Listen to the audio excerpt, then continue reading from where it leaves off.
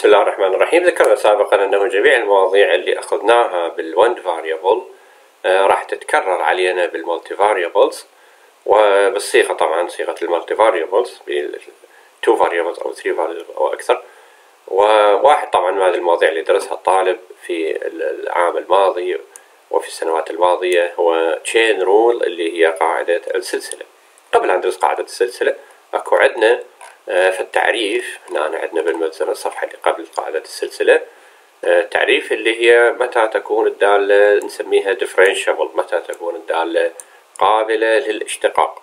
الصراحة هنا طبعا هذا مو مو معناه أنه هل إن ال f x موجودة ال f x مشتقة جزئية ولا ال f y ال f y أيضا مشتقة جزئية. قد تكون ال f x موجودة وال f y موجودة لكن الدالة غير قابلة للاشتقاق. إذا متى تكون الدالة قابلة للاشتقاق؟ بالحقيقة هناك ثلاث شروط لكي تكون الدالة differentiable قابلة للاشتقاق ثلاث شروط. الشرط الأول هو أن f x موجود يعني نقدر نشتقها اشتقاق جزئي بالنسبة ل x والشرط الثاني f y موجود وأيضا نقدر نشتقها اشتقاق جزئي بالنسبة إلى y والشرط الثالث أنه هاي الغاية تكون موجودة. هاي الغاية اللي جاي نشوفها تكون موجودة طبعا هذه الغاية أكو بيها فد هذا delta f شنو المقصود بال delta f ف delta f هذا التعريف مالتها x note آه، زائدا delta x و y note زائد delta y ناقصا f of x note y note وبقية العناصر المعروفة f x يعني نشتق بالنسبة ل x ونعوض بالنقطة x note y note ونضربها في delta x ناقصا f y يعني مشتقة بالنسبة ل y في النقطة نعوضها بالنقطة ونضربها في delta y هذه. في delta y آه، على delta x تربيع زائد delta y تربيع. وعندنا هنا المثال المثال صيغة السؤال تجي use definition to prove that آه، مثلا دالة ينطيك دالة معينة على سبيل المثال هذه x تربيع زائد y تربيع. differentiable at وينطيك النقطة x note y note النقطة اللي هي طبعا ما نعلم هذه مو هذه. هاي تختلف هذه هاي هاي صفر صفر بالتعريف دائما ثابتة. لكن هنا قد يعطيك النقطة هي النقطة الحرجة يعني هنا النقطة الحرجة لكن هنا بالمثال اثنيناتهم صفر صفر. إذا هذه دائما صفر صفر حسب التعريف وهذه قد تكون صفر صفر قد تكون هو يعني ينطيها بالسؤال. هذه ينطيها بالسؤال. إذا آه، لحل هذا السؤال هذا كتبت هنا هذه الدالة وهذه النقطة الحرجة اللي هي x note y note ونطبق التعريف. أول شيء نجد delta f نجد delta f ف delta f لهذه الدالة تساوي f لين شوف والله x note x note إيش قد صفر هذا صفر. زائد delta x هذه زائد delta x شنو y note؟ y note هي صفر. زائد delta y ناقص f of x naught y naught يعني ناقص f of صفر صفر. ونجد طبعا نطبق تعريف الدالة تعريف الدالة اللي هي x زائد y تربيع الدالة تربع المسقط الأول وتربع زائد المسقط الثاني تربيع أيضا. فالمسقط الأول صفر زائد دلتا إكس اللي هو دلتا إكس. تربيع يصير دلتا إكس تربيع دلتا إكس. هذه تربيع زين. زائد نفس الكلام بالنسبة إلى ال y يصير دلتا y. تربيع. نعوض. جاي أعوض بالدالة. صفر زائد دلتا إكس تبقى دلتا إكس. خلي نسوي لنا بعد خطوة خليها واضحة هذه. راح أسوي خطوة قبلها هنا أنا تساوي. f of دلتا x دلتا y. لأن دلتا إكس زائد صفر هي دلتا إكس. دلتا y زائد صفر هي دلتا y. ناقصا f of صفر صفر. وأجي هسه أعوض بالدالة. الدالة تقول أنه شو يسوي تربع المسقط الأول زائد تربيع المسقط الثاني. فدلتا f of f of دلتا x دلتا y هي دلتا x تربيع زائد دلتا y تربيع. ناقصا f of صفر صفر بصفر يساوي صفر تربيع. زائدا صفر تربيع يعني ناقصا صفر تربيع. وما تعني شيء وتساوي إذا قيمة الدلتا إكس طلعت لنا دلتا إكس تربيع زائد دلتا واي تربيع. طبعا لاحظ أنه حط أقواس حتى لا يصير دلتا x حتى لا التربيع يجي على ال x يجي على المقدار ككل نرجع للتعريف. هسه حاليا هنا البسط طلعنا دلتا f نطلع هسه f x بالنقطة x y ونضربها في دلتا x و f x نعرفها. نشتق بالنسبة إلى x إذا نجد هسه إكس نجد إكس بالنقطة بصورة عامة إكس واي وبعدين نعوضها بالنقطة المطلوبة اللي هي صفر صفر. آه نجي نشتق آه فايش راح يصير؟ راح يصير اثنين f x راح يصير عندي اثنين x وبالنقطة x naught y naught اللي هي صفر صفر نجي نعوض هذه. نعوض هنا ما بيها y طبعا بس x وعلى كل يصير صفر. قيمتها تساوي صفر ونفس الكلام. بالنسبة لل y f y في آه بصورة عامة في x y. راح يساوي لي نشتق هذه الدالة نشتقها بالنسبة إلى y. فال x يروح ثابت لين ويبقى المشتقة هي اثنين y. واثنين y نعوضها بالنقطة الحرجة وأيضا تساوي صفر. زين. أرجع هسه للمقدار راح يصير عندي آه هذه ناقصا f x في نضرب هذا المقدار في دلتا x. ونضرب هذا المقدار في دلتا y وطبعا هم أصفار فإذا نضربه في دلتا x ودلتا y تصير أصفار لكن خلينا نطبقها على كل نجي نطبق الكلام هذا إذا راح يصير عندي limit دلتا x دلتا y تقترب من صفر صفر. إلى آه، آه، دلتا f اللي هي هذه هذه دلتا f هذه دلتا f وحسب التعريف يقول لازم ناقص f x اللي لقيناها قبل شوية في دلتا x وال f x لقيناها اللي قيمتها صفر هذه. هذه. f x بالنقطة الحرجة قيمتها صفر. إذا راح يصير عندي صفر في دلتا x وناقص أيضا f y حسب التعريف حسب التعريف هنا f y اللي لقيناها أيضا قيمتها صفر. في دلتا y إذا f y اللي هي قيمتها صفر في دلتا y. على المقام هنا هذا المقام اللي هو تحت الجذر دلتا x تربيع زائد دلتا y تربيع. وطبعا هسه هذه راح تروح ذولي راح تنضربون بأصفار فيبقى عندنا ال limit كالآتي limit عندما دلتا x دلتا تقترب من صفر صفر إلى هذا المقدار اللي بقى عندنا طبعا هسه هذه limit نتعامل معاها أه نحلها يعني مثل ما تعلمنا شلون. إذا تعويض مباشر راح يصير الناتج صفر على صفر. إذا لازم نلقى لنا في الطريقة جبرية أه واحدة من الطرق مثلا الضرب في المرافق. أو أه أي طريقة جبرية أخرى. على سبيل المثال على كل نقدر هسه نستخدم التحليل الحل البسط إلى حاصل ضرب جذرين. نعرف هسه هذول الجذرين إذا نضربهم يرجع للبسط نفسه. قد طالب يقول لا عندي طريقة ثانية أنه أضرب في آه، في آه، هذا المقدار في دلتا x تربيع زائد دلتا y تربيع تحت الجذر آه، على نفس المقدار هذا قيمتها واحد هذه. وهذه إذا تنضرب في هذه راح تصير يروح يعني الجذر وممكن أنه طريقة ثانية على كل أعتقد هاي الطريقة اللي جاي أطبقها أبسط. فراح يصير عندي اختصار أحد الجذرين من البسط يروح مع الجذر اللي بالمقام ويصير عندي يساوي هذا أيضا يساوي وهنا أيضا يساوي limit إلى هذا المقدار. وطبعا إذا نعوض تعويض مباشر هسه ما تصير عندي أي مشكلة إذن لا بأس أن نعوض تعويض مباشر. فدلتا x نخلي مكانها صفر والدلتا y نخلي مكانها صفر والناتج يساوي صفر. إذا آه، الشروط الثلاثة تحققت إذا الدالة قابلة للاشتقاق. إذا الدالة دالة قابلة للاشتقاق. طالب أيضا إذا تريد تجرب آه، كواجب بيتي جرب أنه تحل لنا آه، هل أن الدالة الآتية f of x y قابلة للاشتقاق. This function use, use, definition استخدم التعريف uh, to prove that uh, this function is differentiable uh, و add 0 0 أيضا وأيضا تحلون إياها هذا ذات تجرب بها هذه homework. نرجع إلى موضوع قاعدة السلسلة. طبعا قاعدة السلسلة تستخدم في حالة الدوال المركبة تركيب الدوال. يعني إذا كان x هو أيضا دالة بالنسبة ل t. وال y هو أيضا دالة بالنسبة إلى t يعتمد على متغير آخر يعني تركيب الدوال. آه آه طبعا differentiable هذول لازم بشرط يكونوا differentiable. وعندنا z آه دالة الكبيرة يعني الدالة الكبيرة اللي هي تعتمد على x و y أيضا differentiable. فإن نستطيع أن نقول أن دي z by dt تساوي partial z by partial x dx by dt زائد partial z by partial y by dy by dt. طبعا هنا أنا d كتبتها بهذا الأسلوب.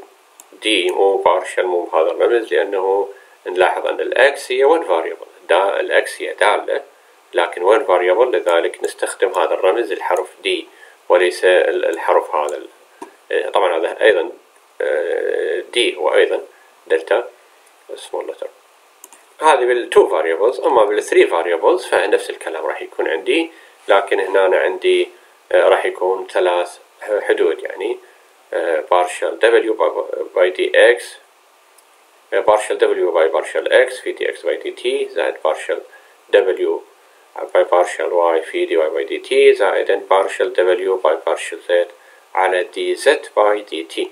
مثال طبعا قاعدة السلسلة بسيطة. إحنا فقط نحدد القاعدة اللي نريدها اللي راح تجينا أيضا صيغ أخرى.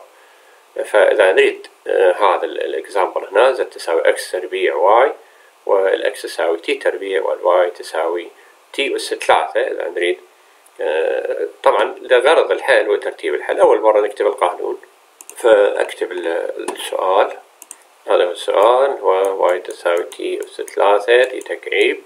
والمطلوب هو إيجاد طبعا هذه z z تساوي f of x y. المطلوب هو إيجاد partial z by partial by partial t. إذا هذا نطبق أول مرة نطبق القانون. القانون يقول كالآتي لاحظ two variables إذا partial z by partial نستخدم يعني الصيغة الأولى. في في dx by dt في dx by dt وزائد partial z by partial y في dy by dt. dy by dt. وكتبنا القانون ونجي بعدين نطبق الفقرات مال القانون. إذا partial z بالنسبة ل x نروح ل z هذا z نشتقها بالنسبة ل x فنعرف مشتقتها هذه اثنين إكس واي اثنين إكس واي وبنضرب الكلام هذا نضربه في dx by dt هاي x نشتقها بالنسبة إلى t فشي يصير عندي؟ راح يصير اثنين t زائد حسب القانون يقول زائد. هسه هاي الفقرة. partial z by partial y نروح لل z هذه هذه z هذه نشتقها بالنسبة إلى y نشتقها بالنسبة ل y الناتج شو يصير يصير x تربيع. نعتبر آه ال x ثابت وال y هو المتغير. وأيضا الفقرة الأخيرة من القانون يقول dy by dt إذا نروح لل y نشتقها بالنسبة إلى ال t ويصير ثلاثة t تربيع. ثلاثة t تربيع. وهاي حدود نرتبها. راح يصير عندي تساوي آه راح اثنين في اثنين أربعة وال x قيمته t تربيع إذا أربعة t تربيع وال y هو t تكعيب وهذا t تكعيب وبقت عندنا t هذه زائد ونجي لهنا نشوف عندنا ال x تربيع ال x هو t تربيع ويصير t أس أربعة. t أس أربعة. وفي ثلاثة. ثلاثة نخليها هنا. وعندنا هنا t تربيع. تنزل t تربيع. هذه t تربيع. وهذه أيضا نرتبها. يصير عندي. عندنا طبعا عند ضرب نجمع الأسس. t تربيع. t أس ثلاثة. في t راح يصير عندي t أس ستة. هاي الأربعة. أربعة t أس ستة. زائدا ثلاثة t أس ستة أيضا نعم. t أس ستة ونعرف هذه صارت حدود جبرية متشابهة. إذا نقدر نجمعها تصير سبعة t أس ستة بس السؤال يتبادر إلى الذهن. لو فرضا ما طبقنا اعتبار سؤال بسيط هذا وموديش الدالة يعني قاعدة السلسلة. مثل ما ذكرنا أنه تستخدم في حال تركيب الدوال. بعض الدوال من نسوي لها تركيب تصير معقدة جدا. فمن الصعب حلها إلا باستخدام قاعدة السلسلة لكن دوال مثل هاي هذه الدالة مالتنا. هذه دالة بسيطة. فنستطيع أنه نركب نجري عملية التركيب وبعدين نشتقها. خلينا نشوف إذا نجري هاي عملية التركيب وبعدين نشتق. يطلع لي نفس الناتج. خلينا نشوف. إذا ال z تساوي x تربيع y ال z تساوي x تربيع. وال x تربيع هو t ال x هو t تربيع. فال x تربيع راح يصير t أس أربعة. ال z طبعا. t أس أربعة. في y وال y هو t أس ثلاثة إذا t أس ثلاثة.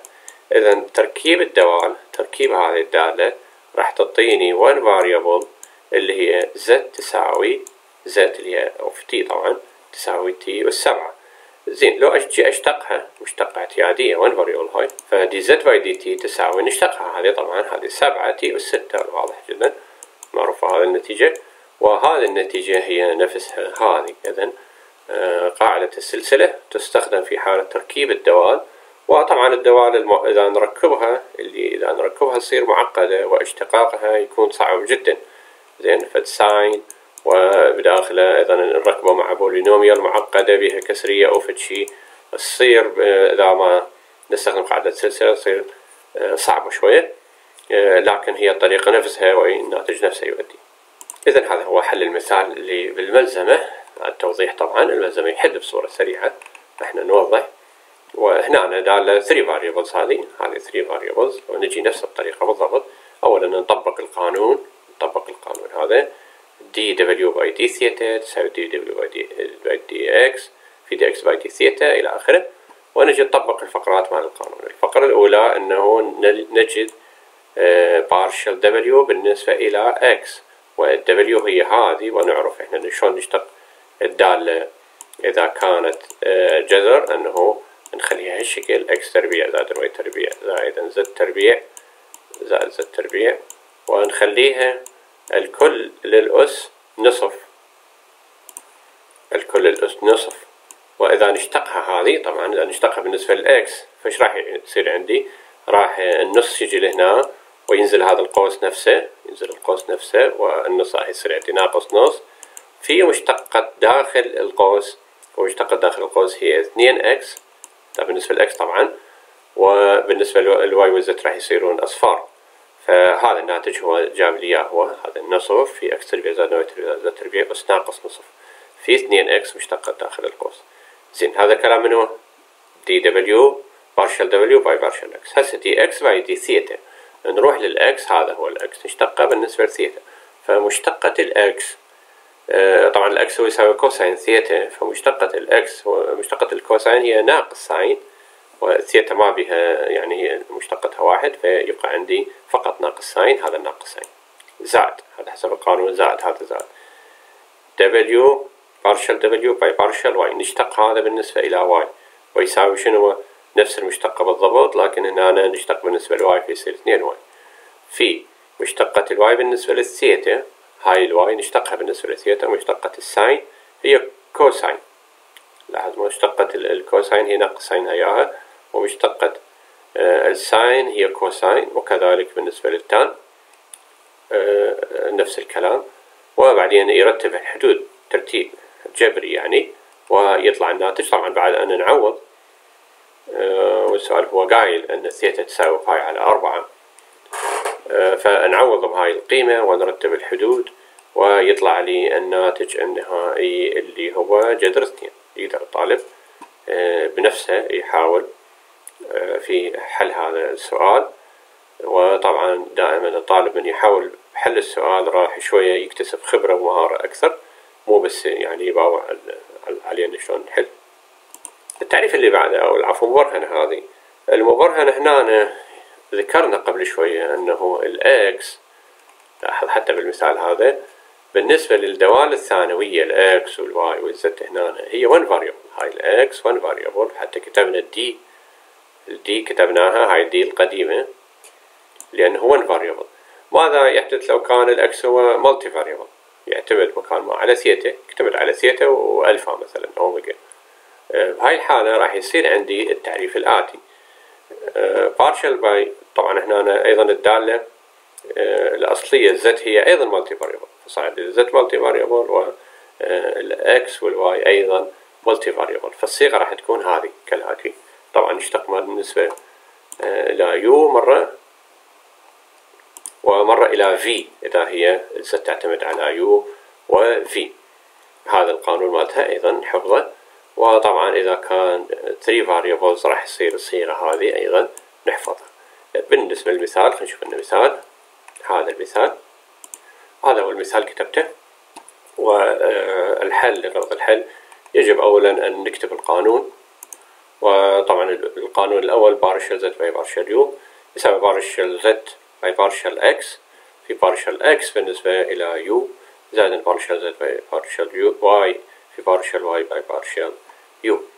ونجي نطبق القانون هذا ف partial z بالنسبة ل x هاي z نشتقها بالنسبة إلى x ونعرف إحنا مشتقة ال e to the x هي نفسها e to the x في مشتقة الإكس وهنا مشتقة الإكس هي راح تكون آه، بالنسبة لل x هنا إذا راح تكون y y في في في partial x بالنسبة ل u هذا ال x تشتقه بالنسبة إلى ال u ومشتقته تساوي اثنين.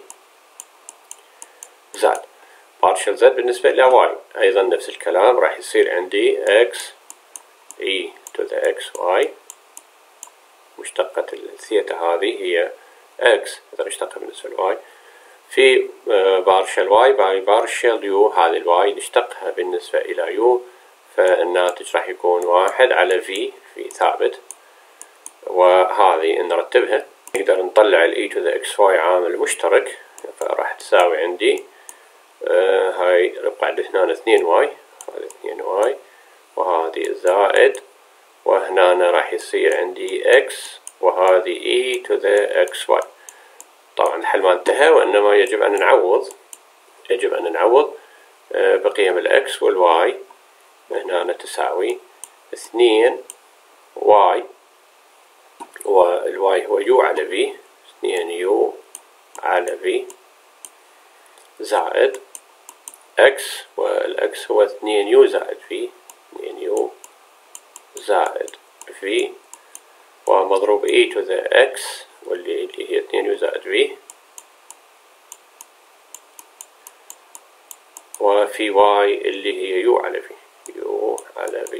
فقط عملية جبرية تبسيط وجمع المتشابه إلى آخره. طبعا هنا هذا الحد على v. إذا هاي راح تصير هذا المقدار راح يصير على v. وإذا نريد نجمع هنا حدود جبرية يعني نجمعها مقامات متوحدة فراح يصير عندي خلي الاثنين هنا على الوسط فتصير هنا v وهنا اثنين u زائد اثنين u راح يصير أربعة u. وهذه زائد v وهذه أيضا نستطيع أنه نضرب. ندخل يعني هذا ال u على v ندخله البقي مثل ما هو. فاثنين u زائد v على u على v يعني نقدر نخليها هالشكل ونقدر ندخل هذا داخل الأقواس. المطلب الآخر هو partial u partial z partial z by partial v. ونفس الكلام هذه تساوي partial z by partial by partial x في partial x by partial v هالمرة by partial v قانون إيش يقول نفس هذا بس لكن مكان ال u نستخدم ال variable الثاني اللي هو ال v آه، في partial z by partial y. Partial y by partial v. وأيضا نطبق نفس الكلام بالضبط نطبق القانون اللي هو يقول partial z بالنسبة ل x نجي للz هذه هي z. نشتقها بالنسبة هذه هي z نشتقها بالنسبة ل x فنفس الكلام راح يصير عندي e to the x y في y راح يصير y في e to the x y. ونجي بارشل x بالنسبة ل v ونجي للx هذا الx نشتقه بالنسبة ل v فالناتج راح يصير اثنين u في اثنين u. زائد partial z by partial y. نشتق بالنسبة هذا راح يصير عندي x e to the xy و partial y بالنسبة ل v الآن نشوف. لاحظ أنه هذا ال V صايرة بالمقام كأنه V أس ناقص واحد. فال u تنزل راح يصير مثل ما هي ال u ال u تنزل. و آه، V أس ناقص واحد. إذا نريد نشتغل راح يصير آه، ناقص واحد V أس ناقص اثنين. إذا راح يصير عندي آه، راح يجيني عدد يعني إشارة ناقص ناقص واحد في أس ناقص اثنين. وهذه أيضا نعوض هسه طبعا لازم نعوض شكو واي نحط قيمته مكانه وشكو x نحط قيمته مكانه ونجي نعوض هنا ال x هي اثنين u زائد v وال y هي u على v. إذن راح يصير عندي u على v في e to the اثنين u زائد v زائد v هذه. في u على v. في اثنين u زائد x اللي هي اثنين u زائد v. في e to the اثنين u زائد v. في u على v. في u هذا طبعا يصير ناقص على كل نخليها الخطوة الجاية. ناقص واحد على v تربيع وأيضا نرتبها نطلع هذا هذا عامل مشترك ونرتب الحدود الجبرية ونطلع الناتج. Example أربعة هنا عندي 3 variables لاحظ. ال W يعتمد على 3 variables. ودول ال 3 variables كل واحد يعتمد على 2 variables. إذن راح يصير عندي الصيغة الثانية من قاعدة السلسلة. وأيضا نطبقها وما أعتقد عندنا أي مشكلة. هنا أنا جاي أقول بصورة عامة إذا كان ال W إذا كان W هي دالة إلى آه، N من الفاريبلات فقاعدة السلسلة تكون كالآتي. إحنا راح نكتفي باثنين وثلاثة فقط. اثنين وثلاثة معطينا هنا هو أيضا. هاي أيضا 3 variables. أيضا يقدر الطالب يراجعها ما عندنا بها أي مشكلة. المثال السادس suppose that أفرض أن W تساوي x y. زائد y z والy معرفة والz أيضا معرفة وما منطينا الx ويريد use appropriate. Appropriate يعني مناسب. Form صيغة استخدم صيغة مناسبة. Over the chain rule من الchain rule to find dw by dx يريد dw by dx باستخدام التشين رول فإذا نشرح السؤال هذا. طبعا قبل نشرح السؤال هسه طالب يقول إحنا شنو المشكلة هنا؟ نشتق جزئية اعتيادية هذه.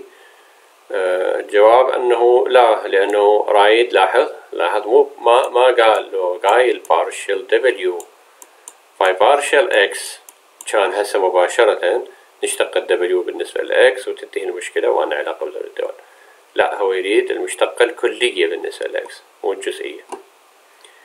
إذا نستخدم هذا المثال نستخدم آه، الصيغة المناسبة. راح تكون عندي d w by d x يساوي partial دبليو باي partial إكس في partial إكس طبعا partial إكس بالنسبة شنو هنا؟ partial إكس بالنسبة لبارشل إكس partial إكس بالنسبة لبارشل إكس آه، أكو طريقة طالب يحفظ بها ال chain rule أنه يقول هذه تروح ويا هذه ترجع نفسها.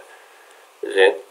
آه، اذا هذا الصيغة أو الحد الأول من آه، قاعدة السلسلة زائدا نفس الكلام partial partial w by partial y في partial y by partial x زائدا partial w by partial z في partial z بالنسبة إلى x. هذا هو القانون اللي راح نستخدمه. ونجي نعوض في كل هذه الأشياء اللي موجودة. W بالنسبة ل x مشتقة جزئية. فهاي W نشتقها بالنسبة ل x راح تصير عندي Y. في آه، طبعا partial x by partial x هاي تروح قيمتها واحد. هاي راح تصير واحد. اذا رأسا زائد. نجي الحد الثاني. دبليو بالنسبة إلى y هاي الدبليو نشتقها بالنسبة إلى واي فراح يصير عندي الاتي راح يصير عندي هنا إكس وهنا زد زائد زد ماكو داعي لأقواس على كل آه لا اكو داعي لأقواس partial y بالنسبة إلى x نجي ال y هاي ال y نشتقها بالنسبة إلى x ومشتقة ال sine هي cosine في cosine x زائد partial w by partial z نشتقها بالنسبة إلى z فيصير عندي y هذه y وعندي partial z by partial x هاي ال z بالنسبة إلى x أي دالة ال e to the x مشتقة تساوي e to the x. ونجي حاليا نرتب الحدود الجبرية ونعوض بقيم x y و z. الx ما منطينا قيمته بس ال y وال z ال y هو sine x هذا ال y هو sine x. sine x زائد آه، ال x يبقى x مثل ما هو. وال z هي e to the x زائد e to the x. في cosine x. زائدا ال y هو أيضا sine x. في e to the x. في sine x نعم ونقدر نرتبها بعد أكثر بأن نطلع هذه e to the x. زائد واحد. في sine x. زائد x زائد e to the x في cosine x لاحظ الناتج أنه فقط. دالة بالنسبة ل x ما عندي لا y ولا z.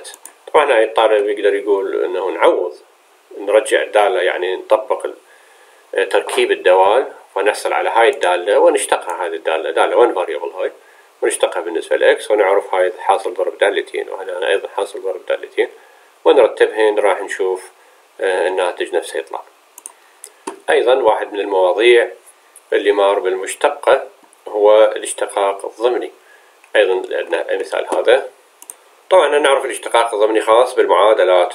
الاشتقاق الضمني هذه الأشياء الأساسية لازم يعرفها الطالب. المشتق قاعدة السلسلة خاصة بمن؟ بتركيب الدوال. الاشتقاق الضمني خاص بمن؟ خاص بالمعادلات. لاحظ هاي معادلة. آه، شنو المعادلة؟ المعادلة هي بها طرفين أيمن وأيسر. الطرف الآخر هنا اشتقاق الضمني لازم يجب أن يساوي شنو يجب أن يساوي ثابت وحتى لو ما يساوي ثابت يساوي متغير نرجع المتغير للجهة الثانية بحيث الطرف الأيمن يصير ثابت سواء كان صفر أو أي شيء آخر. وطبعا نتذكر أنه شلون نسوي اشتقاق ضمني. آه، أنه إذا نشتق طبعا إذا بالنسبة لل x فإذا نلقى ال y فنشتق بصورة اعتيادية لكن آه، نضيف المقدار by dx فراح أطبق الكلام هذا. إذا by dx تساوي هذه x وحدها فنشتقها اعتيادي ثلاثة x تربيع مشتقة بصورة اعتيادية. وهذه هنا راح آه، حاصل ضرب دالتين. لاحظ بالاشتقاق الضمني آه، ما لنا علاقة باللي يشتق الجزئية يعني مو نعتبر ال x ثابت وال y كذا. لا آه، نتعامل وياهم على أنه اثنين عندهم متغيرات. فبالاشتقاق آه، الضمني نثبت ال y ونشتق ال x فايش راح يصير عندي؟ راح يصير y تربيع. طبعا هنا أنا أكو أكو لاحظ أنه في الملاحظة مهمة. أنه هنا أنا اشتقيت ال x الصراحة أنا ما عرفت واحدة وإنما أيضا ضفت في dx على dx. أي شيء أشتقه. أضيف وياه شنو؟ أضيف أعتبره معادلة يعني أعتبره دالة. أيضا آه، تركيب دوال و آه، جاي اشتق بالنسبة ل x إن هذا dx على dx نفس قاعدة السلسلة. وبما أنه هذا قيمته واحد فما أكتبه هنا y تربيع أيضا dx على dx لأن جاي اشتق بالنسبة ل x أيضا هنا أكو dx على dx. لكن للاختصار ما اكتبها اذا هسه لاحظ ثبت ال y تربيع اشتقينا الاكس اشتقت الاكس واحد اذا ونحط وياها dx على dx. آه زائد ثبت الإكس ثبتنا الإكس واشتق الواي اشتق الواي شنو؟ اشتقت ال y هي اثنين y. وأيضا نضيف هذا المقدار dx لكن مو dx على dx وإنما dx على dy العفو dy على dx بالعكس. آه ومشتقة الثابت صفر وهذه تساوي ومشتقة الطرف الآخر ثابت أيضا صفر. إذا باختصار إحنا نقول أنه إذا نشتق غير ال x نضيف هذا المقدار لكن بالحقيقة إحنا لا جاي نضيف حتى لو نشتق ال x نضيف dx على dx لكن هذه تختفي. آه، طبعا المفروض ما نكتب هذه. مباشرة نشتق بدون ما نكتب هذا الكلام. هاي ما نكتبها خطأ زين. آه، بعد ذلك لأن المعادلة هي بحساب. بعد ذلك آه، مثل ما نعرف هذه طبعا مثل ما قلنا تروح هذه امسحها أصلا ما نكتبها. ونطلع ال dy by dx قيمته. فتعرفون هذه راح تروح للجهة الأخرى فتصير بالسالب. وهذا المقدار راح يبقى مع dy by dx يصير بالمقام تساوي هذا المقام إكس واي اثنين إكس واي وهذا سالب اكو هنا حتى نحط الكسر. آه، يصير ثلاثة x تربيع زائد y تربيع. زائدا y تربيع. وهو المطلوب بجمع التمارين هذه تحلون إياها. تحاول أنها تحل أكبر قدر ممكن من التمارين. تحاول تحلها. وقليلات. أنا مختارهن إذا تحلون كل تحل جميع التمارين هذه والسلام عليكم ورحمة الله.